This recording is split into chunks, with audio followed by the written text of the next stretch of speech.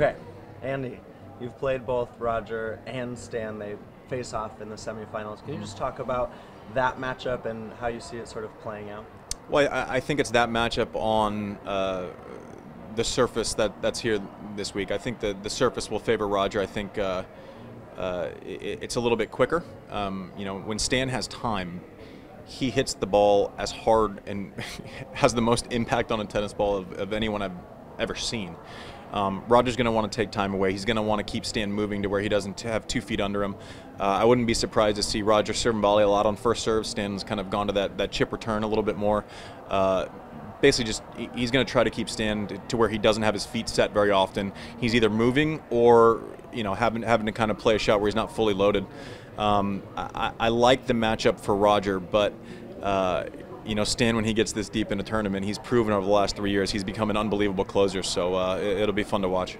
And if they get into, say, a, a, battle of backhands, is that something that Roger's trying to avoid, or how does how's the match sort of won and lost for each of the guys? Well, I, I don't know that Roger's going to want to get into to trading, you know, coming over back into coming over back, and I think that's where he can utilize uh, he did it to me forever, but utilize that short chip, moving it in and out, play one short, play one deep. He's going to want Stan constantly moving and not being set and hitting the ball from the same spot a couple times in a row. That's when Stan becomes uh, insanely dangerous. So uh, just trading blows uh, back into back end, I don't know that that's something that Roger wants to get into, but um, he might be the best of all time on, on being able to switch paces, switch directions, and uh, this court is, is fast enough where that chip can be effective.